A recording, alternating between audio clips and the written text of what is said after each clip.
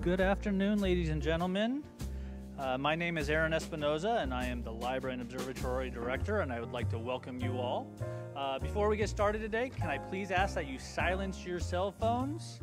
I know you all think you have already done it. There's going to be one of you. Um, uh, so, the Rancho Mirage Library and Observatory, uh, how do we do all of our programming? Uh, our programming is actually sponsored by our Rancho Mirage Library and Observatory Foundation.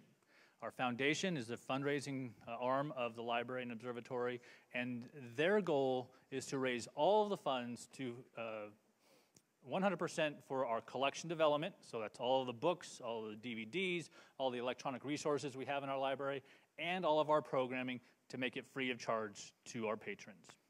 So this is sponsored by the Rancho Mirage Library and Observatory Foundation. I did not see any of our board here today, and that's okay. But again, I wanted to thank them uh, for all of their continued support to make these opportunities for our community.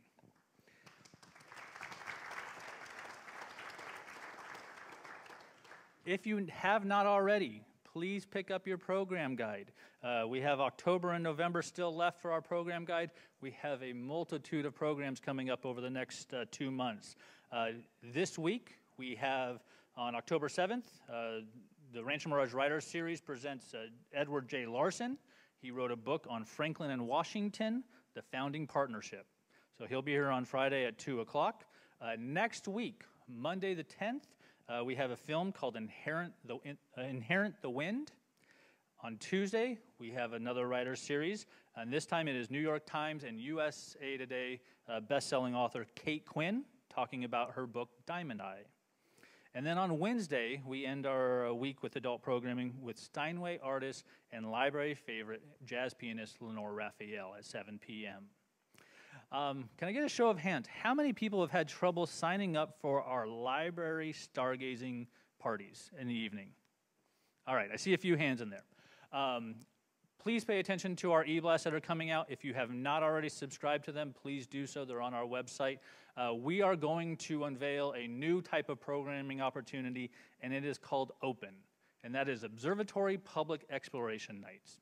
It will be more like our Swoon at the Moon program, where it'll be more of a passive programming to get more people through the facility. There will be no more registration um, frustrations. Right now, we've been filling up our 250 spots within about three to five minutes, and then the frustration begins, not only for you, but for our staff. Um, so again, please pay attention to those. Uh, we really do want to get all of the community as much involved as we can with our observatory. Uh, so please uh, take a look at that because our staff has been working hard to get that done. At the end of today's program, our observatory coordinator, Lauren Zuckerberg, will meet you, will meet anybody that would like to right outside these doors here, right at the entrance of our observatory to give an observatory tour. Okay. So today's program, it's been two years, seven months, and 21 days since our last observatory slash astronomy lecture. Um, we are very excited to uh, bring back uh, Dr. Michael Ressler.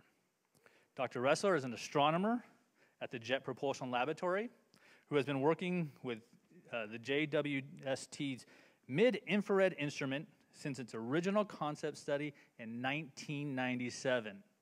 I was still in high school. He is also a team member and a detect, detector specialist for the All Sky Wide Field Infrared Survey Explorer mission and is now working on the new NASA mission to discover and characterize near Earth asteroids and comets. Please join me in welcoming Dr. Mike Ressler.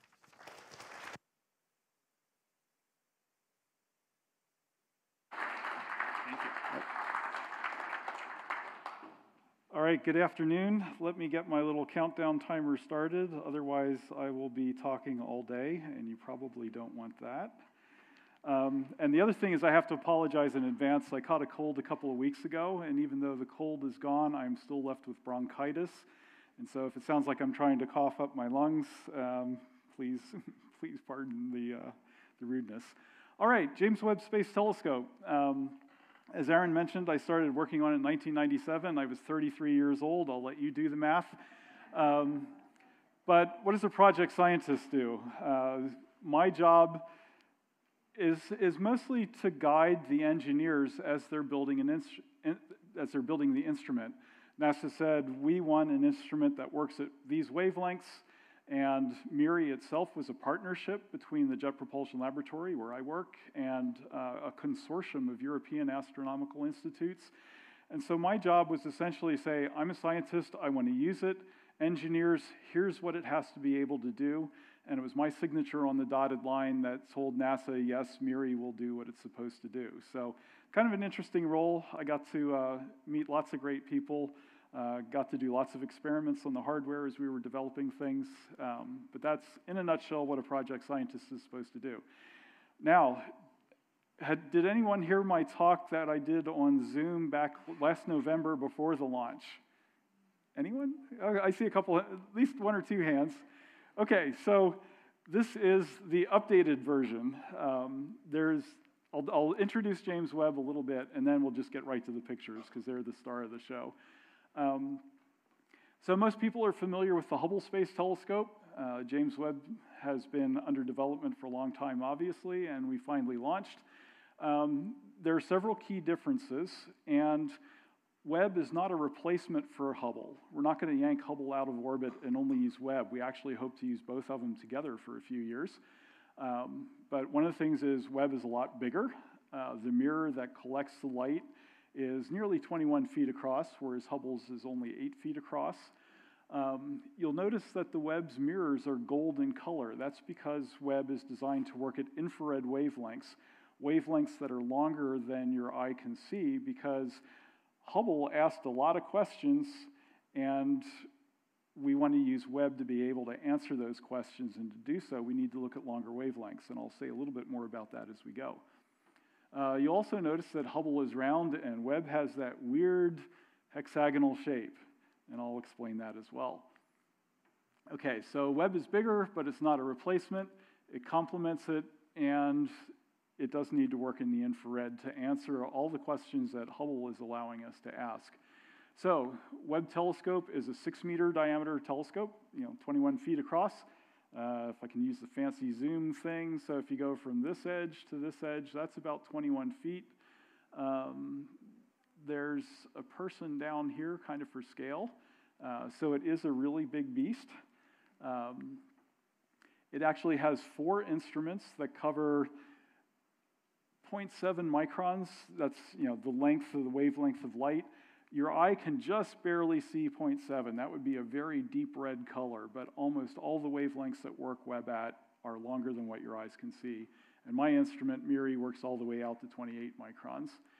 Um, Webb is so big and so expensive, it's actually a partnership between uh, NASA, the European Space Agency, and the Canadian Space Agency. So, working together, we built this observatory and it was launched on an Ariane 5 rocket. And you'll notice that the observatory had to fold up. So we built the world's first origami telescope. Um, so there's, there's no rocket fairing in existence that could hold Webb unfolded. So everything had to fold up. So the, the wing, the three wing mirrors, there are three on the other side, had to fold in. The secondary mirrors, this uh, little mirror up here that had to flip down and fold up. Um, so all of this had to crunch up to fit into the telescope. And then, more importantly, it had to unfold after we launched so that we actually had an observatory. Uh, the other thing to remember is that Webb is now located about a million miles from Earth. Um, the moon is about 250,000 miles, so we're four times farther away from the Earth than the moon is. Uh, the reason is, is that the gravity of the sun and the earth working together make several gravitationally stable spots, reasonably stable. Uh, these are called the Lagrange points, and there are five of them. I won't go into them today. We're at the second Lagrange point, so it's a million miles farther away from the sun than the Earth is. Um, it's a nice place to be. It's, you know, that way we always have the sun and Earth behind us, um, so it's a little easier to, to do our thing um, in, that, in that environment, but million miles from Earth. Okay, there are four instruments on JWST. There are three near infrared instruments that work from that very red wavelength color, very colors. Um, and that was built by the University of Arizona. Uh, NIRSpec is one of the European instruments. It's our workhorse spectrograph in the near infrared. Um, interestingly, in the past, most of our ground based telescopes, until just a few years ago, if we wanted to take a spectrum, you know, basically break up the light into a rainbow, measure the brightness at every wavelength, which tells us about the composition of the object we're looking at, we could only do one object at a time, which means if you wanted to do many galaxies, it took a long time because you had to go one, one, one, one, one, one at a time. NIRSpec actually has a uh, micro shutter array. Think of it, um, you know, the blinds on your windows where you can open and close the shutters to let light in.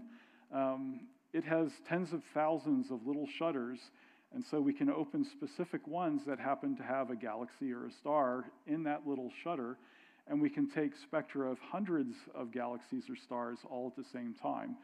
So this lets us be much more efficient when we're trying to say, here's a cluster of galaxies. How far away are they? What are they made of? You know, when did they start forming stars? All the questions that we have but it allows us to do it very efficiently because it can do more than one at a time. And that was provided by the European Space Agency.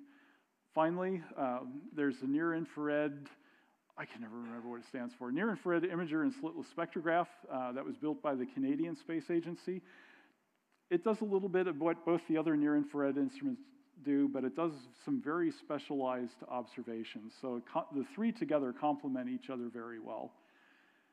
The limit of those three instruments is that they only go out to five microns wavelength, and so you have the most important instrument, which is MIRI, the mid-infrared instrument, and it works from five all the way out to 28 microns. So while there are three instruments to do imaging and spectroscopy in the near infrared, there's one instrument to do all that for the longer wavelengths. And this is a picture of what it looks like. It looks kind of weird, um, but it doesn't have to look pretty, it just has to do its job. Um, so we do imaging. Uh, I'll, I won't explain everything just yet. Okay, near infrared versus infrared, mid infrared. Why do we need four instruments to do all this? Well, different wavelengths of light, different colors of light give us different information about the things that we're looking at. For example, Hubble can see ultraviolet light from galaxies that are nearby. Well, the universe is expanding, so as we look at galaxies farther and farther away, that light is redshifted to longer and longer wavelengths. If you've ever heard an ambulance drive by, you notice that when it's coming toward you, the pitch sounds higher, and as it's going away from you, the pitch is lower. It's called a Doppler shift. Light does exactly the same thing. So as galaxies are going away from us, as they're farther away in the universe, and the universe is expanding and pulling them away, the light is redshifted to longer wavelengths. And so what used to be ultraviolet light for Hubble might be redshifted into near infrared wavelengths that, that NIRCam can see. And if they're really, really far away, they would be redshifted into where MIRI can see. But in general, um, the ultraviolet light from distant galaxies is shifted into the near infrared. Um, MIRI will see visible light from that same galaxy. So NIRCam will see the ultraviolet, MIRI will see the visible, simply because it gets redshifted into the wavelengths that we can see. Um, in the near infrared, you tend to see more uh, atoms and uh, small molecules um, and things where it's relatively high energy. So we'll see things that are close to stars that are heated up to a thousand degrees or something like that. Each element each atom has its own spectroscopic signature. It has its own little rainbow, if you will. Um, and so we see mostly atoms. In the mid infrared, we see molecules. We'll see things like carbon dioxide and methane, and I'll show you one of the spectra toward the end of the talk.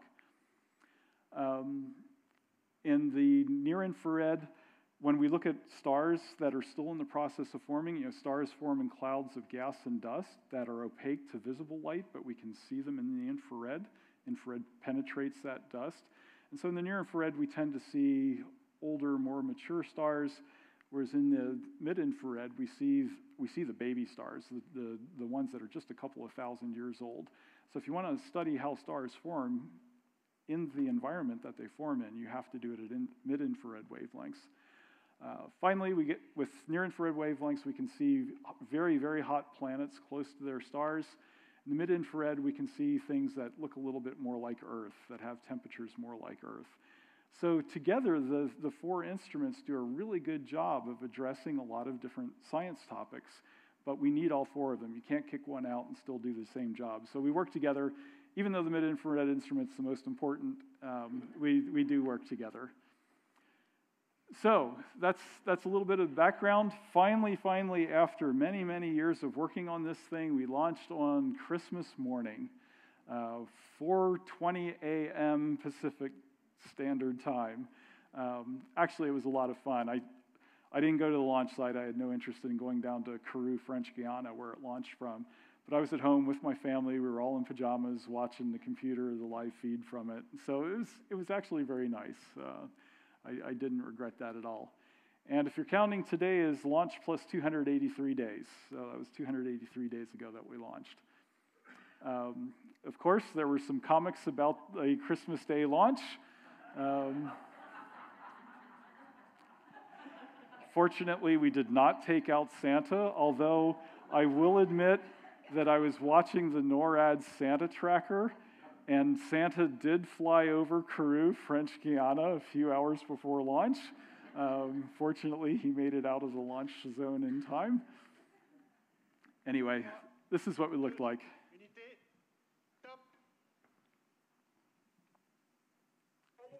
And we have engine start. And liftoff. Decollage, liftoff from a tropical rainforest to the edge of time itself. James Webb begins a voyage back to the birth of the universe. So that was the European Ariane 5 rocket. Punching their the heavy through lifter. the clouds, 20 seconds into the flight, good pitch program reported. Their auto tracker lost lock. Vehicle performance is nominal. That was pretty much it. it. It, it. went off into the clouds and we couldn't see it, so it made for a short launch clip. Um, the next clip I want to show you is something that we dumb Americans, at least, didn't know about. So, the James Webb Observatory was sitting on top of the second stage booster of the Ariane rocket. And ESA did not tell us that there was a camera at the top of that second booster stage. And so, a few minutes after liftoff, um, we got video back from that camera. And if I press, whoops, I blew it. Try again. No, come on. Don't do this to me. There we go. Now it's going to work. Um, I hope. There it goes. So this is after the, the telescope observatory separated from that second stage booster, and we got to watch it drift away, you know, sort of our last view of the telescope uh, after launch. And, you know, there's something kind of poignant about it. You know, I've worked on this thing so long, it's been, you know, the vast majority of my career. And, uh, you know, watching our baby go off was uh, kind of interesting. So, uh, over here is the Gulf of Aden and Djibouti and Yemen and Somalia. Um, and Ariane gave us a really good launch. We used very little fuel on the launch, and the trajectory is so good, the solar panels actually started coming out much earlier than we expected. So if you watch right over there, in just a few seconds, you'll see the solar panels start to deploy. How do I get rid of the little hand that's there? Any day now. There we go. So there's the, there are the solar panels starting to deploy. Um, so nobody expected to see that. You know, the solar panels said, "Up, oh, we're good. Let's go," and uh, off they went. So I can watch this video all day. It's it's just so cool. All right, and uh, this was the work of an amateur astronomer, Malcolm Park. And you'll notice the little uh, zip in the center of the field of view. So he just had his telescope out, was taking picture of the sky where he expected James Webb to be. And so you're seeing James Webb zipping across the sky on its way to our uh, orbital position at the second Lagrange point. So pretty neat stuff. And after six months of work showing that everything actually did work, we could declare success. So, in the beginning of July, we started our main science observing programs. But before we get to the pictures, a question that people always ask me are why do the stars in JWST images have six points? So I thought it was worth telling you why. Um, if I have a round telescope so that the, the light gathering mirror is oh, that's kind of cool, is just a circle. Um, the stars end up looking kind of like just a little point. And you'll notice maybe faintly there's some rings around it. And this is a high contrast, uh, larger, you know, to let you see a little bit more. But if your telescope is round, stars look round. You don't see the usual spikes that we're so uh, familiar with seeing. If you put a hole in the center of that telescope, if you look at the telescope out at the observatory, which I encourage you to do, um, light comes in, bounces off a big mirror in the back, off a smaller mirror in the front, and back through a hole in that primary mirror. So, like that hole. Um, and you'll notice those rings. Let's see if I can do this. So, this ring is a little bit brighter. So, it moves some starlight out of the center into the rings around it. And that's just a consequence of physics. Uh, it's diffraction, uh, light, light diffracting around the edges of the telescope. And this is what you're used to seeing because most telescopes hold that secondary mirror using four, we call them spider vanes. Um, and almost all big telescopes are built this way. So if you see pictures from the Palomar 200 inch telescope, you'll see stars that have crosses, like the far image over there. Uh, there we go. Um, so cro- these crosses are a consequence of the fact that you're blocking a little bit of the light the, with these spider vanes here. So it's diffracting around those vanes, and that what, that's what gives the stars four points. And so that's what we're typically used to seeing. However, if you have a hexagon shaped mirror, uh, you get six spikes. Basically, you get a spike for each of the edges in this particular picture. And then if you break up the hexagon into 18 hexagonal segments, like we use in James Webb, you know, for the most part, stars still look like round stars, except now this little first ring around it is hexagonal shaped. That looks okay. But if you really zoom in and turn up the contrast, you see these, I don't know what you want to call them, herringbone patterns from the diffraction spikes. Um, but it's still the six pointed spike, or six, six pointed diffraction spikes. Well, we also have to hold our secondary mirror some way, and instead of using the, the four spider vanes, we use three in a peculiar pattern. Um, so get my pointer back here. Uh, so these two um, are symmetric with the mirrors, so they overlap this, the diffraction spikes. But this guy here introduces two new diffraction spikes into our stars. So back over here, so you see the, the main six diffraction spikes, plus there are these two fainter ones here. So when we actually go look at pictures that I didn't invent,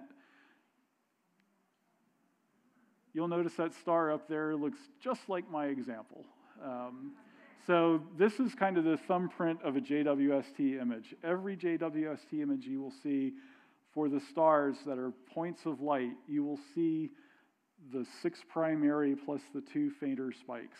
So that's why the images look the way they do.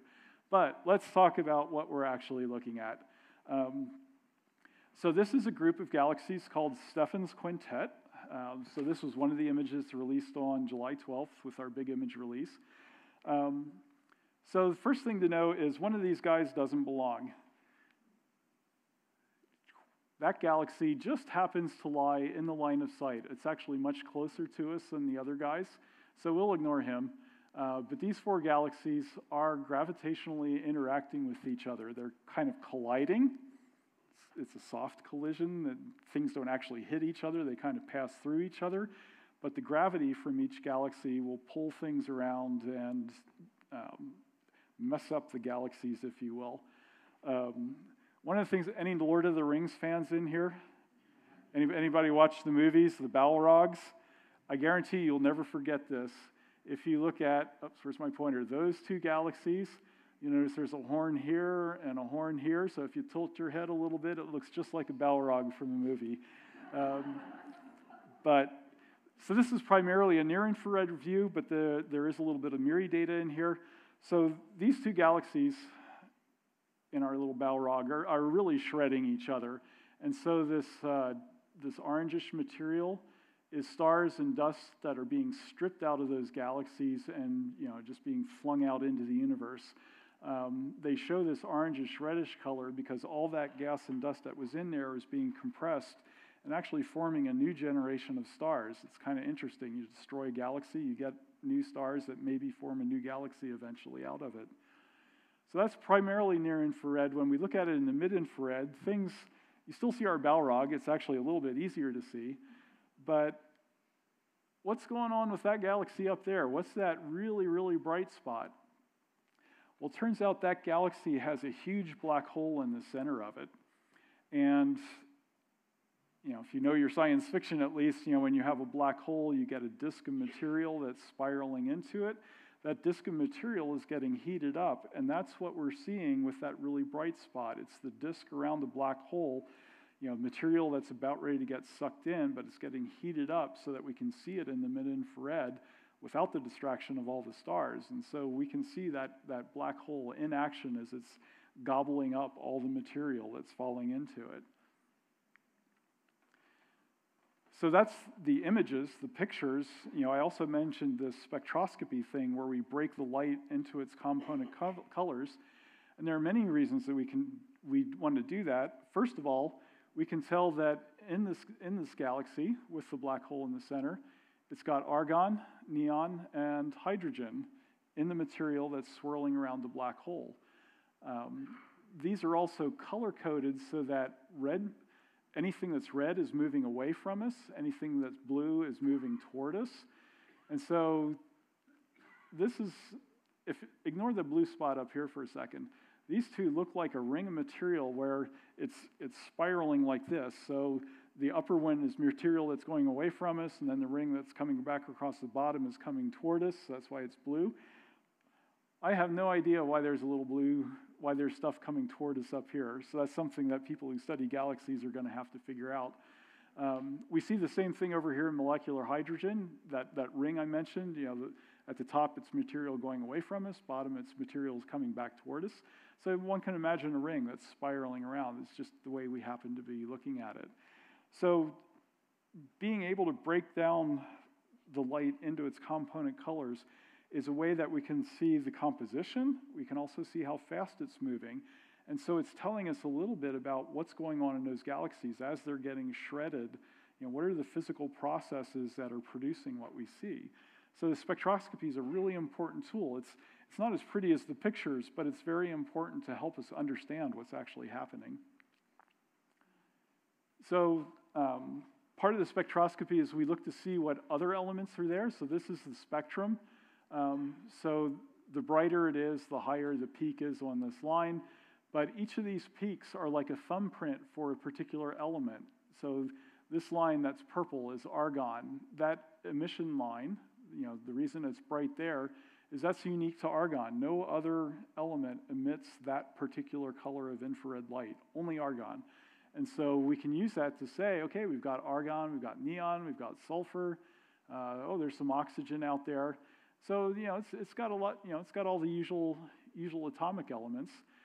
But we also see some molecules, uh, just hydrogen, two hydrogen atoms together. That's, that's hydrogen gas. Um, there's also, whoops, there we go, silicates. Silicates are basically dirt and rocks. In fact, I was going to say this to the end, but in fact, if you go that way, there's a really excellent mineral collection here in the library.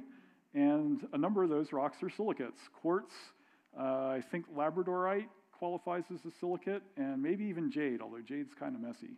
Um, but this is the same stuff that we have here on Earth. It's just silicate minerals. Um, so these spectra are giving us some information about what's going on around this black hole just by the, the type of light that it's emitting.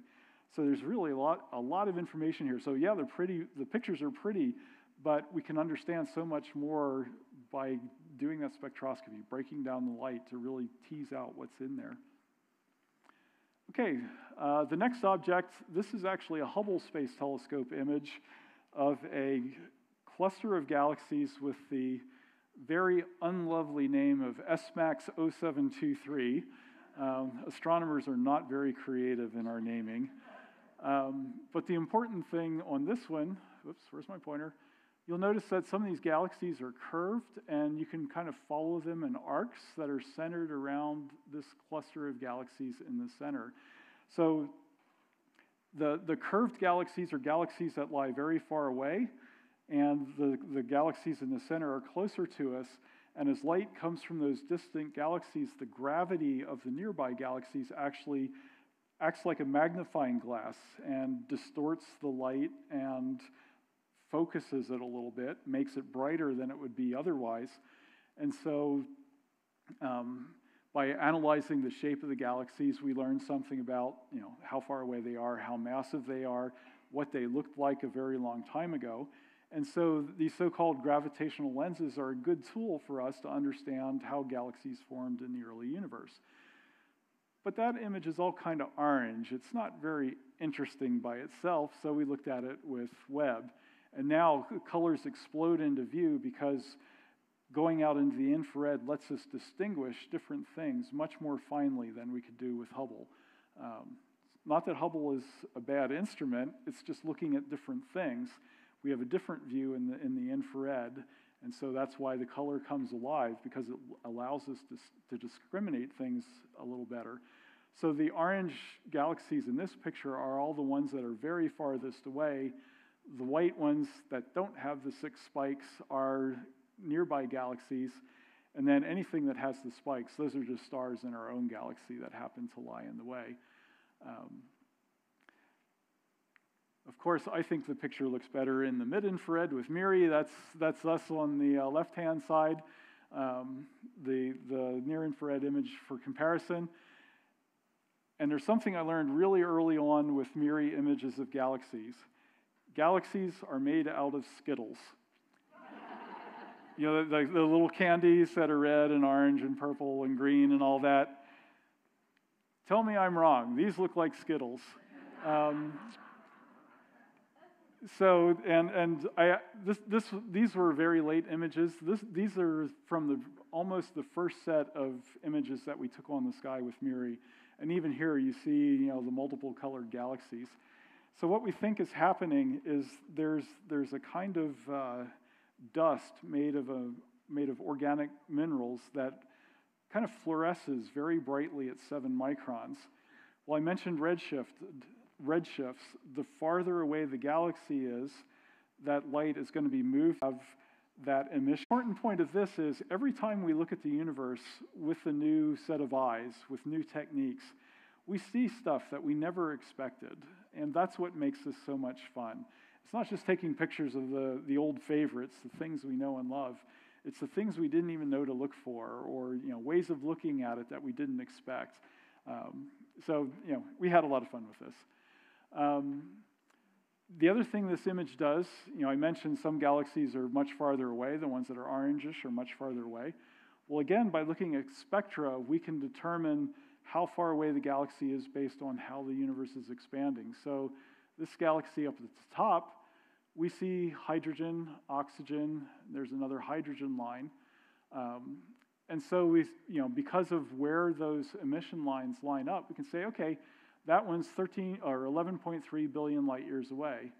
But this next guy down, we see those same emission lines, but they're at much longer wavelengths, which means it's farther away.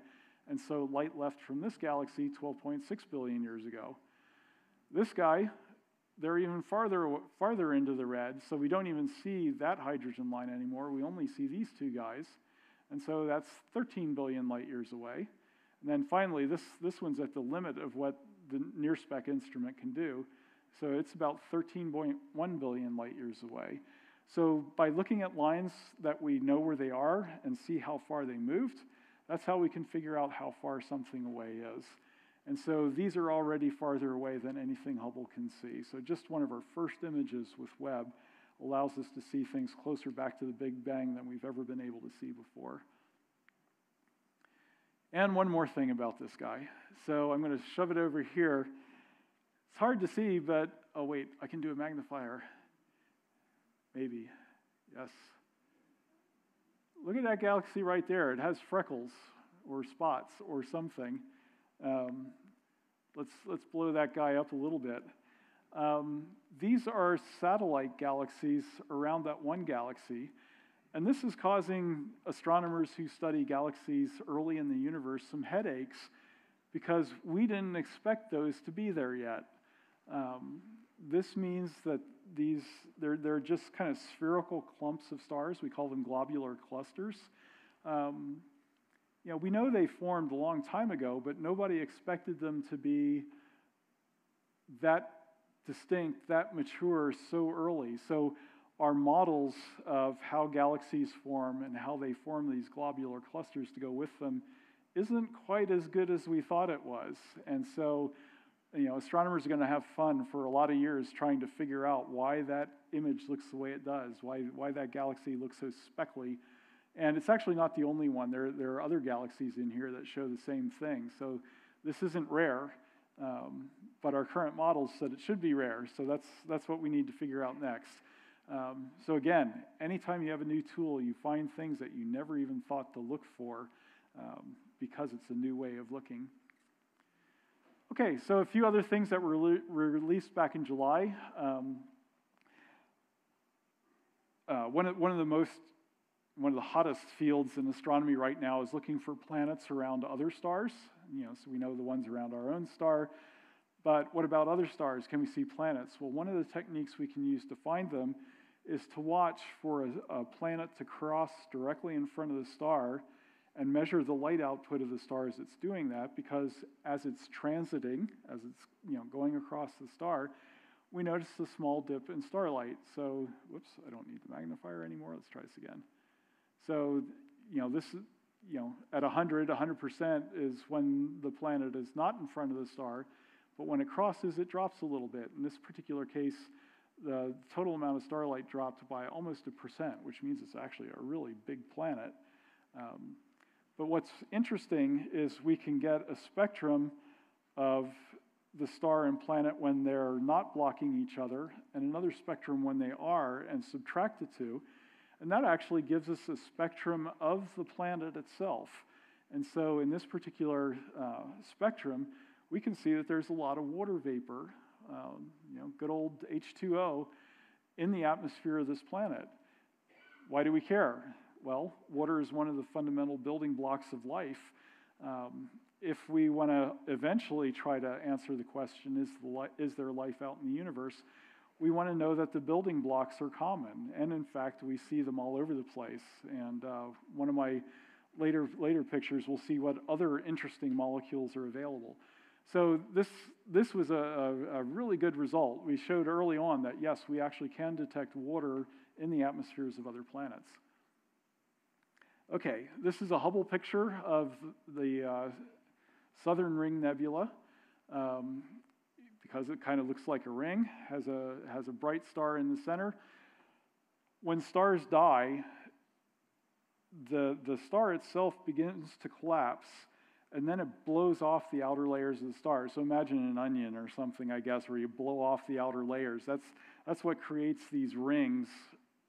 It's what creates these rings around the star. This used to be on the surface of the star, it all got blown off. Uh, and makes these very pretty things. Uh, so this is Hubble's view. Um, here's what it looked like to NIRSpec. Um, it's just fantastic because you see all that structure that you couldn't see in the Hubble view all those little knots and clumps and turbulence. Um, when a star blows up, it's a very messy thing. Um, it's not like it just goes puff. You know, it, it truly, truly kind of explodes and really makes a mess. And then, of course, the MIRI version is interesting. Now, the, the interesting thing about MIRI is you see two stars very clearly in the center, and it's actually this red one, which is the one that blew up. Uh, it's, it's not the brighter one. And more interestingly, some colleagues of mine who are working on this found that there's a, a, a small disk of material around that star. So when it blew up, it, it still managed to keep material around it, kind of like, you know, sort of like the asteroid belt, maybe, a little bit in our own solar system. just dust and rock and stuff that's still orbiting right around the star, despite the fact that it blew up. Um, and so, you know, it tells us a little bit about this process that stars go through uh, as they're dying. Okay, so this is the one that I think ended up on the brochure. Um, so this is a star-forming region called the Carina Nebula. Um, there are some very hot stars out of the field of view that emit an awful lot of ultraviolet light. That ultraviolet light is actually impacting this cloud of gas and dust and essentially destroys the dust at the edge. And that's what gives us this kind of really sharp, sharp edge, is that ultraviolet light is so intense it's ripping things up. Um, do you ever see a street sign that's been in the sun too long, it fades and all that? It's the same process. It's ripping up the paint on the sign. The same thing's going on here. Um, in the infrared, we see all sorts of interesting things. So there's a very young star right there um, that's shooting out jets of material as it's forming.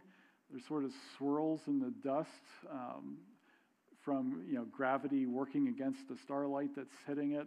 Uh, just you know all sorts of neat things going on. Um, there's the Hubble version. It's cool, but I like the infrared better. More importantly, this is the MIRI version. MIRI actually lets us see deeper into that dust. So um, there's a cluster of stars over here that we can just see at the longer wavelengths. Um, here's our other little guy that's shooting out jets of material. Um, there's just all sorts of neat things in here. And I guarantee you, some graduate student somewhere is going to be writing his PhD dissertation just on this object because there's so much stuff going on in here. And then there's much more to come. So the images before were all, th- all things that were released on July 12th when we did our first big image reveal. Um, but of course, we're doing science now. Uh, we're, we're doing lots of new observations. So here's one called the Cartwheel Galaxy. Um, I hope it's relatively obvious why it's called that. You know, looks kind of like a cartwheel. This is this used to be a normal galaxy, um, probably a, a spiral galaxy, where another galaxy was very rude and just shot straight through it. And when it did that, it causes sort of like ripples on a lake when you, when you toss a rock into it. Um, the gravity of that galaxy passing through it just kind of sent ripples and started shredding the target galaxy so that what used to be um, what used to be the arms are now this ring there's still sort of the center part of the galaxy that's still intact but the thing is, is just you know expanding and, and kind of losing itself um, but again in the mid-infrared you'll notice there's a bunch of bright spots all this is very bright along here as a result of the galaxy of that result of the gravity of that passing galaxy, it's compressed the dust that was in the galaxy and it's forming a new generation of stars. So, you know, even in catastrophe, you form new stars and things, things go on. Um, so the two views together give us a lot of information about what's, what happened and, and how things are going to behave in the future. Um, one, one particular observing mode that I didn't mention is something called coronagraphy. It's a, it's a technique where we can block the light of the central star and look to see if there's anything close to the star around it. If we want to look for planets around another star, the problem is the star can be a billion times brighter than the planet. So we have to have some way of making the star look faint so we have some hope of seeing the planet around it. And that's exactly what happened here. Um, between NIRCam and MIRI, we actually did detect a planet around this star. Um, again, astronomers have really dull names. HIP 65426, uh, just a plain old normal looking star. But if we block out the starlight, the star is at these little symbols, star symbols, uh, we actually see a planet that's in orbit around it. So there's some artifacts here. It's only one planet, not three. Um, but the fact is, we can directly take an image of a planet around another star. You know, I mentioned we were able to do a planet or a transit, sorry, where we watch the planet block the starlight. That's one way to detect them. The other way is just take pictures of them directly. Um, so JWST is, is very good at being able to do this sort of coronagraphy. And these are a couple of my favorites. Everybody knows that Saturn has rings, right? Was actually seeing Saturn in a small telescope when I was in sixth grade that got me interested in astronomy.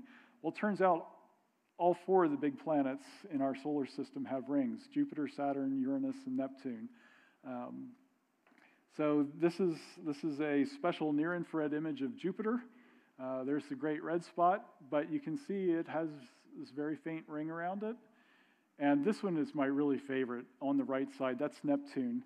Um, when I was an undergraduate student, I worked for Jim Elliott and Ted Dunham, who discovered the rings around the planet Uranus.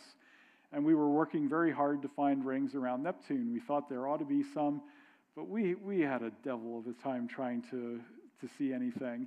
We certainly couldn't take images like this, and the techniques we were using kind of hinted that maybe there were some rings there, but not really. Then, of course, Webb does a two second exposure, and there it is. Um, so, pretty neat. There, there are two little moons, one there and one there. These are known as shepherd moons the gravity from this little moon is actually what makes, you know, what drags the material into the ring shapes. So uh, the fact that we've got two nice rings there is a result of having those two moons sweep up that material. Um, so anyway, and, and then there are clouds on, in the atmosphere of Neptune. I just think that one's fantastic. Um, I'm not a planetary scientist, but I still think it's fantastic. Um, and then finally, um, I wanted to mention the spectroscopy. If you caught my talk nearly a year ago, uh, you, you saw this spectrum of a very young star that's in the process of forming. And I made a really lame joke about the fact that we detected methane gas, which means there are cows in space. But um, no, there are not cows in space. But anyway, um, here's a spectrum that was taken with MIRI. It's not the same object, unfortunately, but it's similar. It's also a very young star that's still in, in the process of forming. And so the Spitzer Space Telescope was an infrared space telescope that flew from 2003. Um, its prime mission was 2003 to 2009. And so, you know, it detected a bunch of interesting things. It's water ice and methyl alcohol, methane, silicates are good old rocks again. Uh, more water ice, that's carbon dioxide. Unfortunately, I covered up the label. Um, but they're interesting because they are some of the basic building blocks of life. These are all things that go along with life on Earth. So the potential is out there. With MIRI, we see all the same things, except now we see even more. And I can't remember what all the chemical names are. Um, but here's, here's our methyl alcohol, methyl um, methanol. Um, there's our methane again. Uh, here's some ammonia. Uh, oh boy, that's, that's still the methanol, yes. Do we have chemists in the room? You can help me out here. Uh, I know there's formic acid, formaldehyde, uh, ethanol. Uh, I think I'm forgetting one or two, but there's a whole bunch of more complex molecules that we now have the sensitivity and spectral resolution to actually see. So the fact that we're seeing stuff like formaldehyde, you know, generally only think of formaldehyde as the stuff that you put your dead critters in when you're doing biology in high school. Um, but, but these are all molecules that are important to the chain of life, some way or another. Um, so, JWST, the Webb telescope, is going to give us a, a really shh. It's going to give us a really good. That was my timer, not my phone ringing. Um, I silenced my phone. Um, but, but so Webb will give us a really, really powerful tool to study what molecules are available as we form a star because we'd like to know how our own solar system was assembled. Where did life come from? Um, how common might life be? So far, we can say, well, the building blocks are really common. Webb can't prove whether there's life somewhere else or not, but it will at least say, yeah, we see the basic building blocks in all these different environments. So the stuff we need for life is common, and that's an interesting lead into the next mission. Um, you know, presumably someday we'll build we'll build things that are specifically trying to determine whether there's life or not. So anyway, I think the spectrum is fantastic just because of all the interesting stuff that we see in it. So here's some websites uh, where you can download all this stuff, uh, read all the right answers of the things that I got wrong. Um, so the first images is where you'll see the first five. There's a, a, a blog, uh, where to go? well, anyway, nasa.gov/web. Um, the European Space Agency has theirs. The Space Telescope Science Institute is the organization that's actually running the telescope now that it's up and operating. So they're responsible for the day to day operations, and so they, they have some of their own things.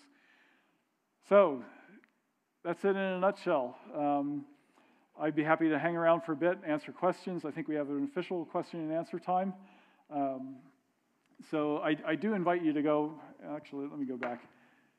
I do invite you to check out the websites because there's a lot of, lot of stuff that I couldn't go in today, and new things will be coming out. I know there's another image release coming tomorrow, and next week, um, one of the project, one of the science projects that I'm involved in is going to release a picture of a star that looks very, very weird. So stay tuned. Um, go, go check it out.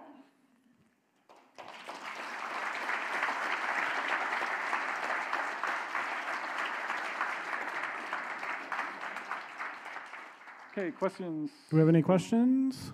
Right, right up here. Here you go. In one of your, in one of your spectra, you showed some small molecules like hydrogen and water, and you had iron, Yes. but no other first transition metals, no, no zinc, cobalt, chromium, whatever. How, how come it's only iron?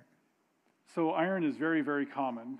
Um, so zinc and things like that are really trace elements. So even in the sun, there's not very much of true metal. You know, to an astronomer, metal is anything heavier than helium. But I mean, real metals like zinc and molybdenum and praseodymium and all those things, you know, are things that are at the parts per billion or parts per trillion level.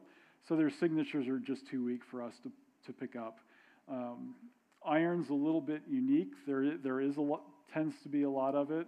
Um, it, it, also has some particularly strong emission lines, so that one's easier to pick up. But the, the rest of them, there's just not enough there. Okay. Yeah, hi. Um, we've all heard that the um, uh, light is the fastest thing in the universe, and I, I just recently heard that the universe is actually expanding faster than light, and I'm wondering if you've heard that, and how could James Webb help with that? So, not expanding faster than light. Um, however, because because of special relativity, you can't just say, well, it's it took light this long to travel, thus it's this many billions of light years physically away from us. The, the expanding universe distorts distances, if you will. So I'm, you know, I, so I'm not exactly sure what you're referring to, but you know, the, the speed of light is the ultimate speed limit. But things get weird when you start moving nearly that fast, and so that may be some of, of what they're after.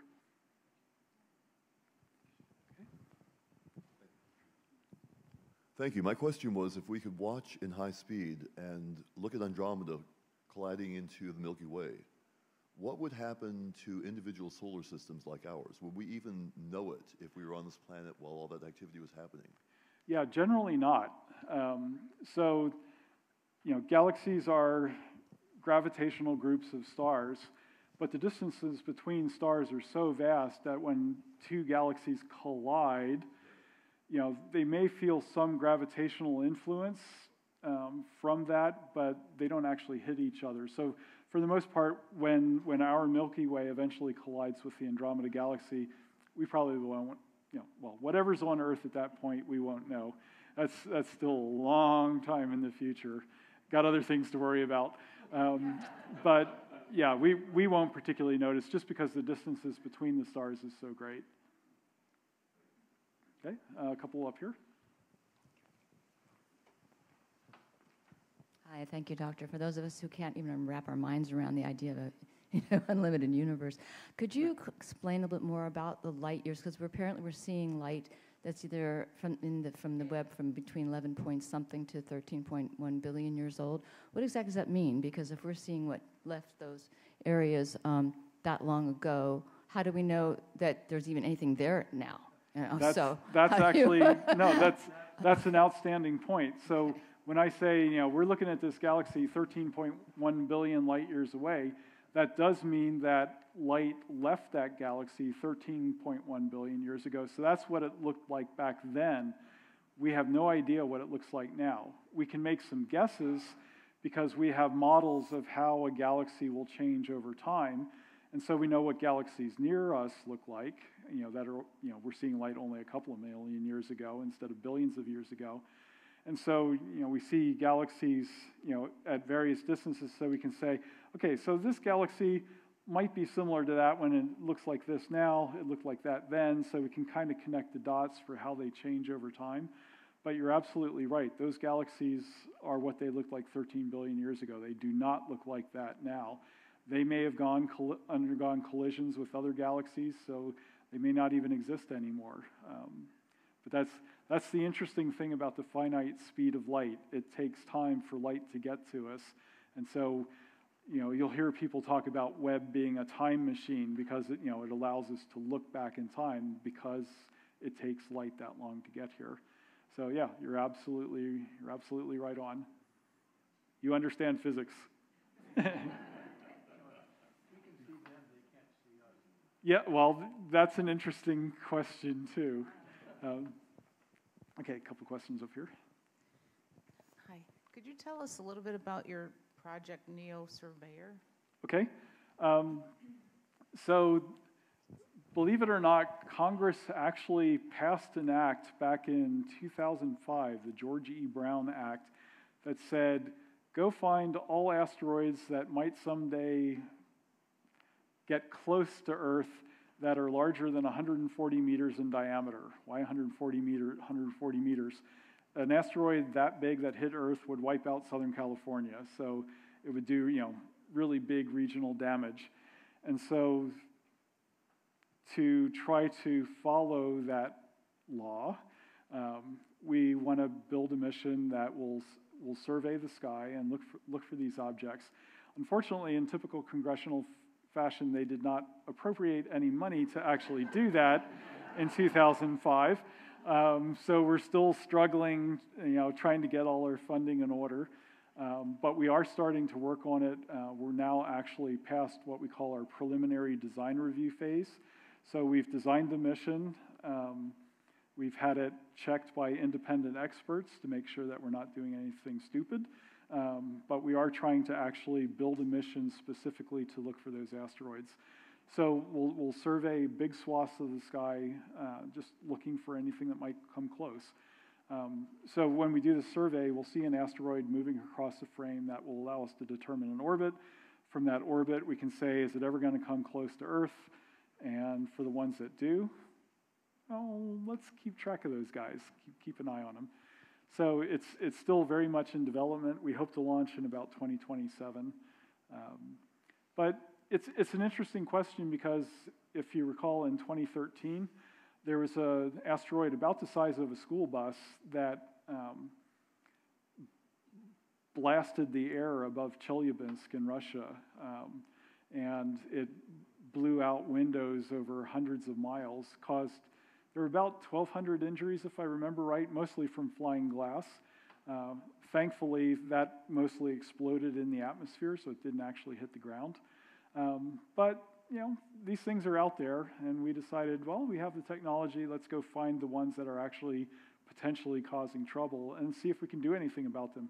If you heard about the DART mission uh, that collided with a asteroid moon, if you will, uh, on the 26th, that was one of the techniques that we might be able to use to move an asteroid just enough so that it misses the Earth instead of hitting the Earth. And so the DART mission was actually a test to see if that was feasible. So NEO Surveyor will hopefully find them. Things like DART will hopefully move them.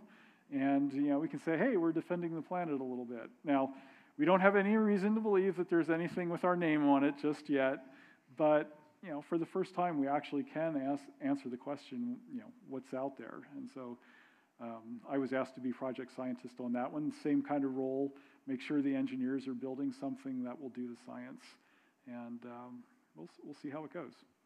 So, so, I think that's just about our official time. So uh, join me in thanking Dr. Ressler.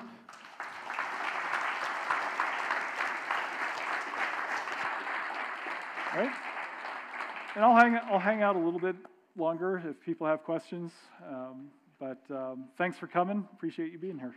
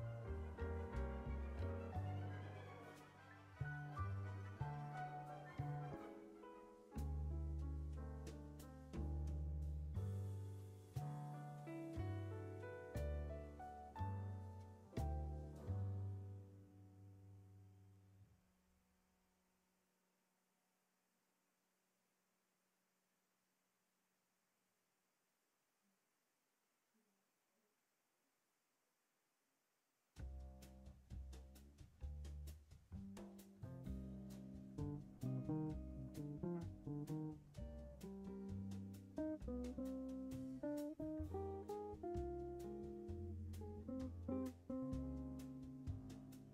you.